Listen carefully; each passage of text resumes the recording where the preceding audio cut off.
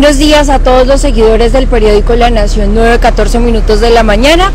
Estamos en inmediaciones del batallón Tenerife sobre la carrera 16 en donde se adelanta una obra que por supuesto es de empresas públicas de la ciudad de Neiva y que tiene paralizado o tiene traumatismos en, en la movilidad de la ciudad. Para que ustedes conozcan un poco de esta obra, cuánto va a durar, de qué se trata la situación, porque tenemos este cierre de esta avenida que conecta de norte a sur, en este caso de sur a norte que está el cierre, pues tenemos al subgerente técnico, al señor José Manuel, quien nos va a explicar un poco a detalle pues de esta obra. Ingeniero, buenos días, bienvenido a esta transmisión de Facebook Live. Muy buenos días a usted y a todos los seguidores de la Nación. Ingeniero, hablemos un poco de la obra, a qué se debe, cuántos meses va a tardar y de qué se trata. Bueno, eh, aquí se está instalando una red de eh, alcantarillado de aguas lluvias de 36 pulgadas de gran diámetro, como ustedes lo pueden observar, y va desde el río Las Ceibas por toda la carrera 16 hasta la calle 18, es decir, hasta el semáforo del estadio. Ahí subimos por la avenida Bugambiles, haciendo el recorrido de las vías, dándole la vuelta al batallón y llegamos hasta la carrera 19, es decir, hasta donde está eh, la cancha de patinaje. ¿A qué se debe esta obra, ingeniero? ¿A qué responde? Bueno, con, esta tubería que se está instalando, se pretende recoger todas las aguas lluvias de la parte alta que bajan por la avenida Bugambiles y producían encharcamiento, inundación ahí en la zona de reclutamiento, en el Coliseo, por la carrera 16. Entonces es hacer unos sumideros, recoger toda esta agua y eh, enviarla aquí al río Las Ceibas. Es posible que a la falta de esta obra, como se mencionaba anteriormente, eh, se generen de pronto daños en el puente de la parte de atrás del río Las Ceibas por esos empozamientos de agua cuando llueve fuertemente en la ciudad. Bueno, eh, aquí tenemos un caso muy espectacular, muy especial aquí en, el, sector de Luna Verde. no, no, eso no debilita el puente, sin embargo se va a corregir esto y estas aguas que siempre se empozan al lado de, a la margen izquierda aquí, también se van a conectar al mismo colector y enviarlas al río Las Ceibas. ¿Cuánto tiempo va a durar esta obra, ingeniero? Y entonces, en el orden de ideas de que usted manifiesta que esto va a subir por toda la Bugambiles, quiere decir que se van a cerrar por tramos. Primero está cerrado aquí desde el Gato con Botas hasta acá al batallón, luego se va a cerrar el tramo del, del Gato con Botas hasta el estadio. Así es, se va a hacer eh, por tramos.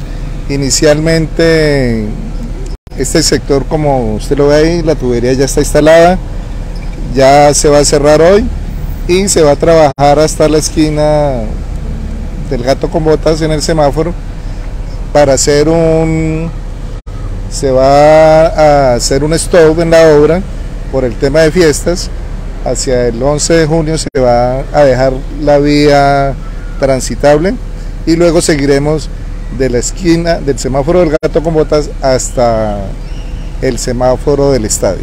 Hay mucha gente que se ha preguntado a través de redes sociales y que nos lo han hecho saber a través de los comentarios ingeniero y de los mensajes por Messenger y es que siempre que la Ceibas adelanta una obra ponen la tubería y vuelven y tapan con tierra, pero no hay un proceso de asfaltado, de pavimentación. ¿Cómo va a ser este proceso? Sobre todo como usted dice que va a haber una pausa en la obra para el mes de junio por el tema de San Pedro. Bueno, el tema de la conformación de la vía tiene su interventoría. Entonces, en el mismo contrato eh, hay un ítem que dice material de la misma obra, pero luego se tiene que mejorar con sus bases y lógicamente se debe dejar la vía en el mismo sentido. Aquí vemos que tiene concreto, entonces toca dejarlo en concreto. Se han generado traumatismos en la movilidad, de hecho ahí estamos viendo gente que, que transita por la zona del andén, sobre todo las motos, para luego cruzar en la parte de adelante por el puente del río Las Ceibas y poder tomar el intercambiador de Luna Verde. De pronto ustedes desde empresas públicas de Neiva no han gestado algún tema de algún plan de choque para evitar estos traumatismos en la movilidad con la Secretaría, precisamente la cartera de movilidad. Bueno, para poder realizar estas obras se debe contar con un plan vial que se presenta a la Secretaría de Movilidad y ellos son los que lo aprueban. Entonces, en un tiempo determinado. Eh, vuelvo y les repito, ya hoy se sale de este sector y eh, pues le pediríamos el favor a Tránsito para que ellos nos colaboren con el tema de la movilidad, pero el plan ya se presentó y fue aprobado por ellos. Bueno, ingeniero, de pronto, por último, ¿qué le quiere decir a la ciudadanía que se encuentran conforme por estos traumatismos que se han presentado en la movilidad? Bueno, usted lo ha dicho, el desarrollo genera traumatismos, pero esto es para el beneficio de la ciudad, de todo este sector que presenta siempre inundaciones, la carrera 16 se nos encharca literalmente cada vez que llueve, eh, la zona de reclutamiento también, y todo obedece a las aguas que vienen de la parte alta y no tienen por dónde salir. Entonces, pues sí, eh, son unos pocos meses mientras dura la instalación, pero luego se va a ver reflejado para el bienestar de la ciudadanía. ¿De cuánto tiempo estamos hablando, ingeniero?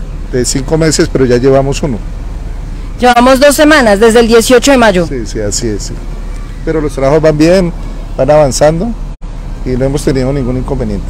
Bueno, muchísimas gracias al ingeniero José Manuel González, el subgerente técnico de Empresas Públicas de la ciudad de Neiva. Nosotros pues claramente vamos a seguirles mostrando el paso a paso de esta obra y vamos también a hacer la veeduría ciudadana para que esto se, lleve de la mejor manera. Acá podemos eh, evidenciar la tubería que ya se está poniendo en este sector y que pues va a mejorar el tema de los encharcamientos que pues siempre hemos sufrido cuando llueve mucho y que pues genera también eh, dificultad en la movilidad, de pronto que no veamos los huecos que hay en la vía, que nos caigamos, entonces pues sí vamos a estar muy pendientes. Y si usted tiene alguna queja, solicitud o reclamo, pues déjenoslo en los comentarios o en mensaje a través de nuestras redes sociales. Esta es la información que tenemos para ustedes. Sigan muy conectados a través de las redes sociales del periódico La Nación.